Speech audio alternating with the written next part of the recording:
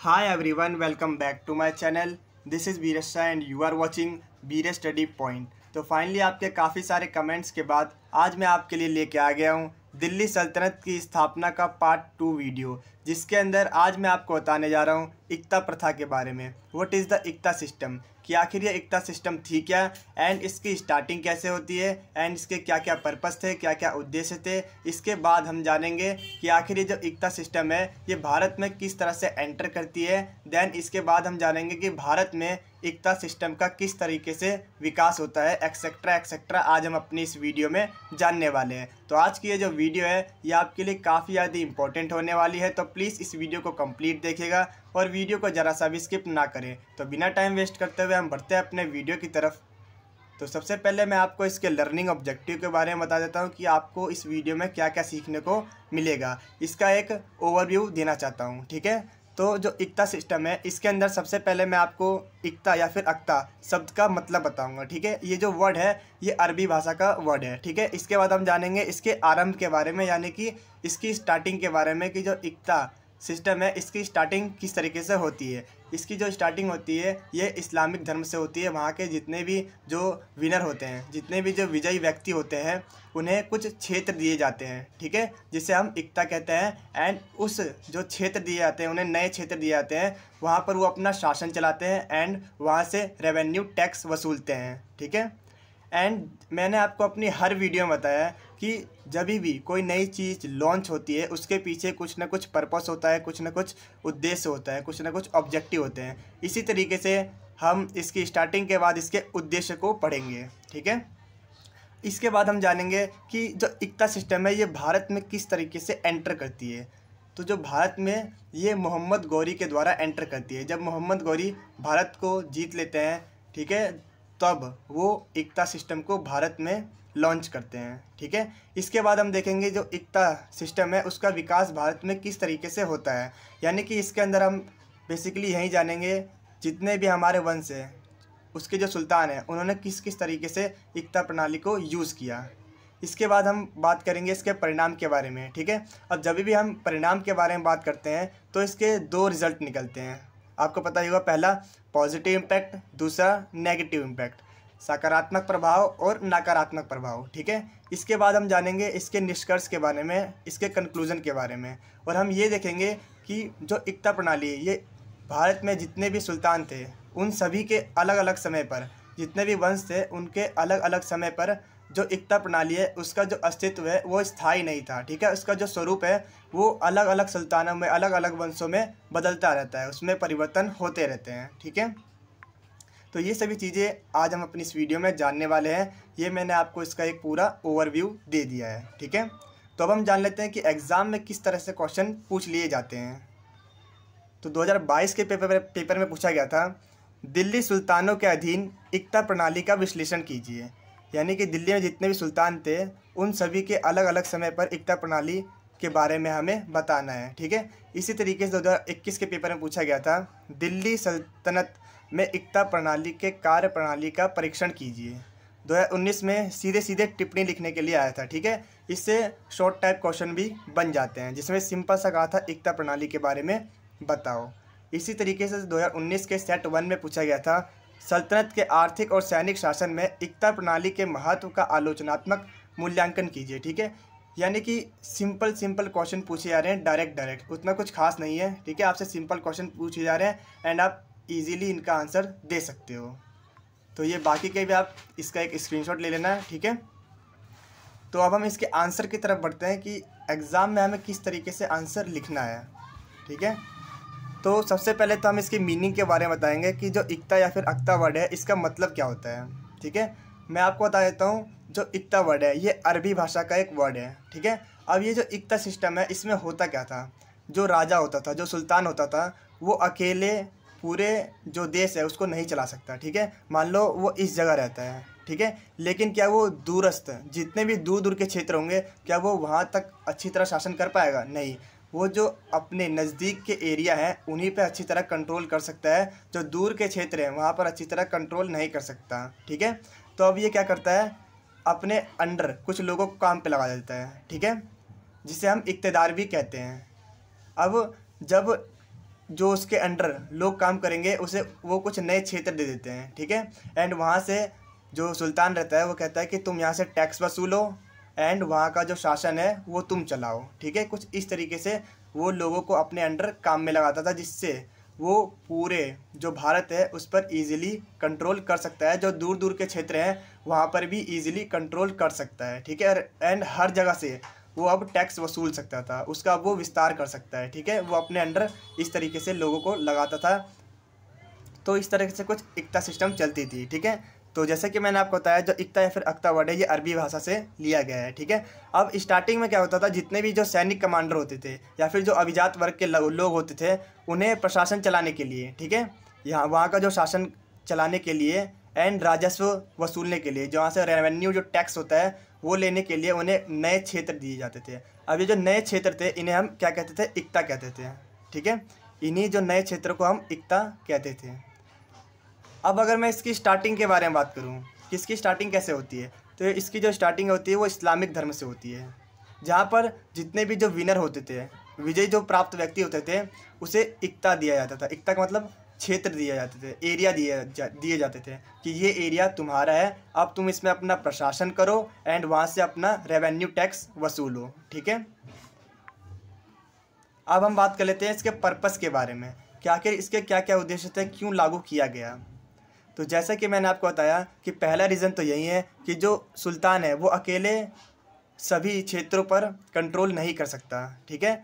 तो अब जो एकता सिस्टम है, इससे वो अब हर जगह कंट्रोल कर सकता है, क्योंकि उसने अपने अंडर लोगों को काम पे लगा दिया है, ठीक है? एंड अब वो दूरस्थ क्षेत्रों, यानी कि दूर दूर के क्षेत्रों से भी जो रेवेन्यू टैक्स है, वहाँ से वो टैक्स इजीली प्राप्त कर सकता है। एंड इसके अलावा जो सुल्तान है, वो दूर क्षेत्रों पर इजीली कंट्रोल कर सकता है। अब जितने भी दूर दूर के क्षेत्र हैं, भारत में कहीं पर भी जो दूर के क्षेत्र हैं, वहाँ पर भी वो इजीली कंट्रोल कर सकता है। इसके अलावा वो बिना केंद्र पर भार डाले, यानी कि अब सुल्तान पे ज़्यादा लोड भी नहीं रहेगा, ठीक है? कार्यभार में उसके कमी होगी। इकतेदारों की सहायता से, ठीक है? उन्हें इकतेदार कहते हैं, जिनको वो नियुक्त करता है। शासन चलाना ईजी हो गया था ठीक है? एंड वो अब बड़ी सेना को तैयार कर सकता था ईजिली क्योंकि हर क्षेत्र में उसके इकतेदार होंगे ठीक है? तो अब सैनिक शासन इस तरीके से आ, हो सकता है जिससे कि शांति आती है ठीक है? तो ये थे इसके कुछ पर्पस। अब हम बात कर लेते हैं जो भारत में एकता प्रणाली है उसका परिचय यानी कि भारत में एकता प्रणाली किस तरह से एंटर करती है।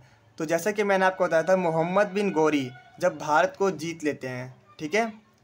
तो वो एकता सिस्टम को लॉन्च करते हैं। जब मोहम्मद गौरी ने भारत को जीत लिया, उस पर जब विजय प्राप्त कर ली, तब विजय के पश्चात उन्हें जितने भी नए क्षेत्र मिले, ठीक है, उन्होंने अपने सैन्य टुकड़ों को बांट दिया, अपने सैनिक टुकड़ों को दे दिया, कुछ नए नए राज्य, कुछ नए नए क्षेत्र, ठीक है, जिससे कि जो एकता प्रणाली का आरंभ हुआ। एंड ये जो धारक है, धारक थे, ठीक है, इन्हें हम वली या फिर मुक्ति भी कहते थे, ठीक है, इनके नाम थे, वली या मुक्ति।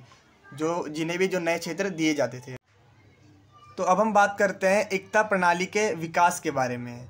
जैसा कि हमने अभी तक पढ़ा कि जो भारत में एकता सिस्टम को मोहम्मद बिन गौरी के द्वारा लाया जाता है, ठीक है? अब इसके बाद जो एकता सिस्टम है, उसका विकास किस तरीके से होता है तो इसके जो विकास की स्टार्टिंग है, ये इल्तुतमिश के द्वारा होती है। तो अब हम जानने वाले हैं इल्तुतमिश के अधीन एकता प्रणाली कैसी रही, ठीक है? तो जैसे कि मैंने आपको बताया था, मोहम्मद बिन गौरी ने एकता प्रणाली को लागू किया। लेकिन लेकिन लेकिन, जो इल्तुतमिश है, उन्होंने इसे एक संस्था के रूप में लागू किया। जो इल्तुतमिश है, उन्होंने एकता सिस्टम को एक इंस्टीट्यूशन बना दिया, एक संस्था के रूप में लागू कर दिया। तो संस्था के रूप में लागू करने का जो श्रेय है, वो इल्तुतमिश को जाता है। लेकिन, जो एकता सिस्टम को भारत में मोहम्मद गौरी ने लाया था, यानी कि आप ये कह सकते हो कि जो एकता सिस्टम को भारत में लॉन्च किसने किया? मोहम्मद बिन गोरी ने किया। लेकिन इसे एक संस्था के रूप में इल्तुतमिश ने लागू किया, ठीक है?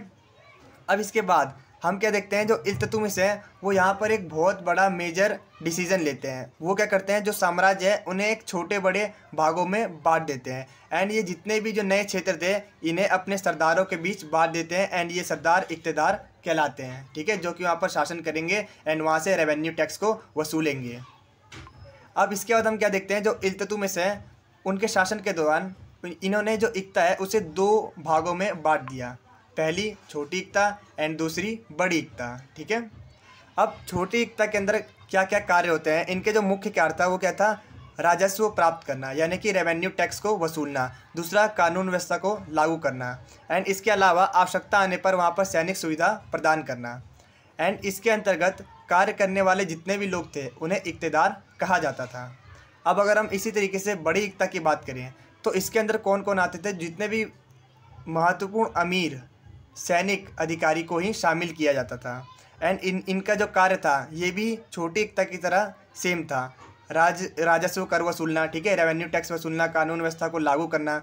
एंड इसके अलावा, जितने भी जो समाज कल्याण के कार्य होते हैं, वो सब करते थे। जैसे सड़क का निर्माण करवाना, न्याय, ठीक है? कृषि संबंधित समस्याओं का निपटारा करवाना एक्सेट्रा कार्य करते थे। ठीक है? अब इसके अंदर जो भी कार्य करने वाले जो व्यक्ति होते थे, उन्हें मुक्ति, वली या अमीर आदि नामों से जाना जाता था। ठीक है? तो अब हम देखते हैं बलबन के अधीन एकता प्रणाली कैसी रही। क्योंकि क्वेश्चन में भी हमसे यही पूछा था कि विभिन्न सुल्तानों के बीच एकता प्रणाली कैसी रही। तो एक एक करके हम सभी के बारे में डिस्कस करेंगे। अब जब बलबन ने एक अधिकारी, ख्वाजा को एकता प्रणाली के लिए नियुक्त किया, अब वो क्या करते हैं? काफ़ी ज़्यादा कठोर और तानाशाही व्यवस्था लाता है। अब इसके बाद हम देखते हैं अलाउद्दीन खिलजी के अधीन एकता प्रणाली के बारे में, ठीक है? अब जो अलाउद्दीन खिलजी है, वो यहाँ पर एक बहुत बड़ा बदलाव लाते हैं। इस टाइम के जो शासक हैं, इन्होंने इसके अधीन, यानी कि जो अलाउद्दीन खिलजी के अधीन जो एकता प्रणाली है, उसमें महत्वपूर्ण बदलाव लाया। उन्होंने क्या किया? जितने भी इकतदार थे, उनका उन्मूलन कर दिया। जितने भी छोटे इकतदार थे, उन्हें हटा दिया। ठीक है? अलाउद्दीन जो खिलजी है, उन्होंने सैनिक भुगतान का तरीका ही बदल दिया। उन्होंने क्या किया? जितनी भी भूमि थी, उसे खिलजी भूमि में बदल दिया। सॉरी, खालसा भूमि में बदल दिया। अब ये खालसा भूमि का क्या मतलब है? खालसा भूमि से हमारा ये अभिप्राय है कि जितनी भी जो भूमि है, वो केंद्र के अधीन हो जाएँगी। यानी कि अब जो पावर होगी, वो सेंट्रल के हाथ में होगी, ठीक है? अब बटी नहीं होगी पावर अब सेंटर के हाथ में जो पावर है, वो चली जाएगी। तो इन्होंने यहाँ पर एक बहुत बड़ा बदलाव लाया, आप ये कह सक, कह सकते हो, ठीक है? अब इसके बाद हम बात कर लेते हैं तुगलक वंश के अधीन इकता प्रणाली कैसी रही, ठीक है? तो गयासुद्दीन तुगलक इकतेदारों के प्रति काफ़ी ज़्यादा उदार थे ठीक है? लेकिन इसके बाद क्या होता है? जो स्थिति में परिवर्तन आता है। अब गयासुद्दीन के बाद कौन आता है? हमारे मोहम्मद बिन तुगलक आते हैं। अब जो जब मोहम्मद बिन तुगलक का समय आता है तो वो निरंकुश शासन चलाते हैं, ठीक है? लेकिन इसके बाद अब आता है फिरोज़ाबाद, तुगलक। अब इनका टाइम आता है, ठीक है? तो कुछ समय बाद जो फिरोज़ाबाद, तुगलक है, वो एकता प्रणाली को वंशानुगत कर देते हैं। अब इसके बाद हम देखते हैं लोधी काल का समय। लोधी काल के टाइम जो हमारी एकता प्रणाली होती है, ठीक है? तो यहाँ पर जो लोधी काल के जो शासक होते हैं, वो एक बहुत बड़ा यहाँ पर कदम उठाते हैं। वो क्या करते हैं, इसका जो विखंडन कर देते हैं। यहाँ पर हमें क्या देखने को मिलता है, जो लोधी काल में एकता प्रणाली का विखंडन या फिर खंडन देखने को मिलता है, वो इसमें और डिस्ट्रीब्यूशन कर देते हैं, ठीक है? जो कि बहुत बड़ा बदलाव या फिर परिवर्तन आप इसे कह सकते हो, ठीक है? अब वो क्या करते हैं, जितने भी छोटे छोटे गाँव होते हैं, उनमें कई सारे, बहुत सारे इकतेदार को नियुक्त कर देते हैं, ठीक है? तो ये भी जो लोधी काल के टाइम एक बहुत बड़ा बदलाव रहा। अब अगर हम बात करें इसके रिज़ल्ट के बारे में, इसके परिणाम के बारे में तो जैसा कि मैंने आपको बताया था, हर सिक्के के दो पहलू होते हैं, पहला नकारात्मक, दूसरा सकारात्मक। तो अब अगर हम इसके नकारात्मक परिणामों के बारे में बात करें तो ये जो व्यवस्था है, इसने इकतदारों को काफ़ी ज़्यादा अधिकार दे दिए, ठीक है? यानी कि जैसा कि आपको पता होगा, जो सुल्तान है, वो जो इकतदार को नियुक्त करते थे, अब उनके पास भी अब एक, उनका एक राज्य था, उनका एक क्षेत्र था, जहाँ के अब वो राजा कहलाते थे। ठीक है? अब वो खुद को किंग समझने लग गए थे कि वही राजा हैं, ठीक है? उनके पास जब इतने सारे अधिकार मिल गए तो अब वो खुद ही को राजा समझने लग गए, ठीक है? जिससे क्या हुआ? जब जो निरंकुश, सॉरी, जिससे वह बहुत निरंकुश हो गए, ठीक है? वो खुद ही को किंग समझने लग गए, ठीक है? और इस कड़ी में जब जब सुल्तान, यानी कि केंद्र, कमज़ोर हुआ है जब जब जो हमारे सुल्तान है, वो कमज़ोर हो गए हैं तो इकतदार स्वयं को स्वतंत्र घोषित कर देते हैं। यानी कि वो कहते हैं कि मैं उसके अंडर काम नहीं करता, मैं खुद एक राजा हूँ। ठीक है? इस तरीके से। तो इस तरीके से इसके नकारात्मक प्रभाव कुछ पड़े अब अगर हम इसके सकारात्मक प्रभाव के बारे में बात करें तो एकता प्रणाली शांति व्यवस्था लाती है। ठीक है? क्योंकि इसमें जो पावर है, उसका डिस्ट्रीब्यूशन होता है, ठीक है? अब वहाँ से जो राजा है, वो इजीली हर जगह से जो टैक्स है, यानी कि राजस्व कर है, वो इजीली वसूल सकता है। इसके ये भी फ़ायदे थे, ठीक है? जो जो इसके ऑब्जेक्टिव में थे, यही सभी इसके आप फ़ायदे में देखोगे, ठीक है? अब जब वहाँ से वो टैक्स वसूलते हैं तो इससे क्या होता है? राजस्व कर में वृद्धि होती है, ठीक है? धन की वृद्धि होती है। अब इसके अलावा, बिना खर्चे के एक नई बड़ी सेना तैयार हो जाती है। वो हर जगह जितने भी जो सैनिक हैं, उन्हें क्या देते हैं? उनका एक नया क्षेत्र दे देते हैं, ठीक है? एक एकता दे देते हैं। एंड वहाँ पर उसको शासन चलाने के लिए देते हैं, वहाँ से टैक्स वसूलने के लिए देते हैं। तो इस तरीके से इनकी एक सेना जो है, वो तैयार हो जाती है। वो भी बिना किसी खर्चा किए ठीक है? बिना किसी खर्चे के एक नई सेना तैयार हो जाती है। एंड इसके अलावा वो दूर दूर के क्षेत्रों से भी अब इजीली रेवेन्यू वसूल सकते थे, ठीक है? इजीली टैक्स वसूल सकते थे। एंड इसके अलावा वो दूर दूर क्षेत्रों पर भी इजीली कंट्रोल कर सकता था। जो सुल्तान था, वो दूर के क्षेत्रों में भी इजीली कंट्रोल कर सकता था। इसके अलावा शहरीकरण को बढ़ावा मिला, ठीक है? तो ये थे इसके कुछ पॉजिटिव इम्पैक्ट ठीक है? अब अगर हम कंक्लूजन की बात करें तो दिल्ली सुल्तानों के अधीन इकता प्रणाली का विश्लेषण करने से हम यह निष्कर्ष निकाल सकते हैं कि दिल्ली सल्तनत में जो इकता प्रणाली है, उसका कोई स्थायी अस्तित्व नहीं रहता, ठीक है? जैसे कि मैंने आपको बताया था, जितने भी ये जो अलग अलग शासक होते हैं, उन सभी के टाइम जो एकता प्रणाली है, उसके प्रारूप में चेंजेस होते रहते हैं, ठीक है? इसमें अनेक सुल्तानों के अंतर्गत जो एकता प्रणाली है, उसका जो स्वरूप है, उसमें परिवर्तन या फिर बदलाव हुआ। जैसे कि मैंने आपको बताया था, जो खिलजी वंश था, ठीक है? उसने क्या किया था? उसे अलाउद्दीन खिलजिया उसने क्या क्या किया था? जितने भी जो इकतदार थे, उन्हें, उनका उन्मूलन कर दिया था, यानी कि उन्हें हटा दिया था और समस्त भूमि को क्या कर दिया था? खालसा भूमि में बदल दिया, बदल बदल दिया था, ठीक है? उन्होंने इकतदार को हटा दिया था। तो ये एक बहुत बड़ा डिसीज़न था। तो इस तरीके से अलग अलग शासकों के बीच जो इकता प्रणाली है, उसमें चेंजेस आते रहे, ठीक है? अब अगर मैं आपको संक्षेप में बताऊँ तो आप ये कह सकते हो कि मोहम्मद गौरी ने इसे लागू किया, एकता प्रणाली को लागू किया और इल्तुतमिश के द्वारा इसे एक संस्था के रूप में लागू किया गया। एंड इसके बाद हमें जो एकता प्रणाली है, उसका भारत में विकास देखने को मिलता है। एंड इसके बाद हम देखते हैं कि इसके जो क्या क्या पॉजिटिव इम्पैक्ट है क्या क्या नेगेटिव इम्पैक्ट है, ठीक है? इस तरीके से हमें जानने को मिलता है, ठीक है? तो आज की वीडियो में बस इतना ही। अगर आपको ये वीडियो यूज़फुल लगी हो तो प्लीज़ इसे लाइक शेयर और सब्सक्राइब ज़रूर करना।